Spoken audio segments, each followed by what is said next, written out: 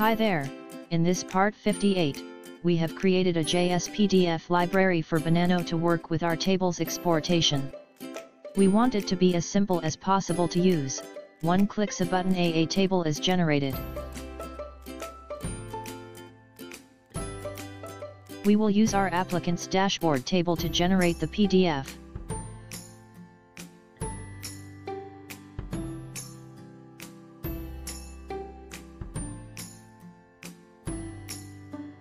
We have added a header and then the contents of the table to the PDF.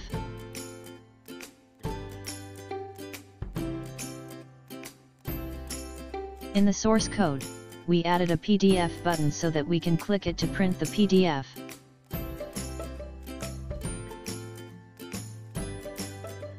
We give this a file name and then we execute AutoTable to use the Vuetify data table as the source.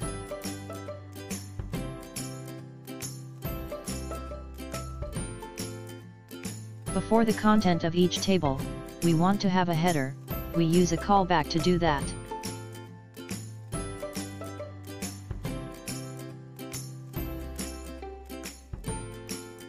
We start the PDF process, set auto table and save the file. Let's see what happens when we have additional data on the table. We add a new page and then add some texts.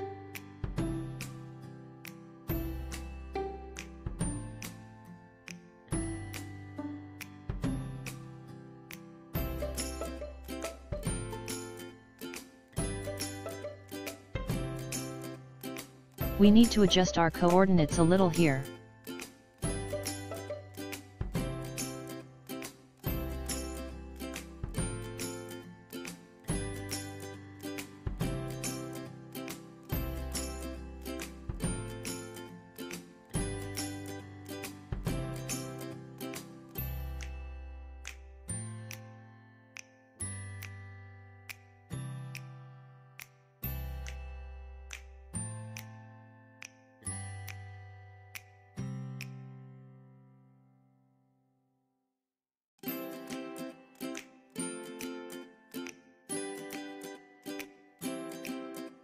That's better.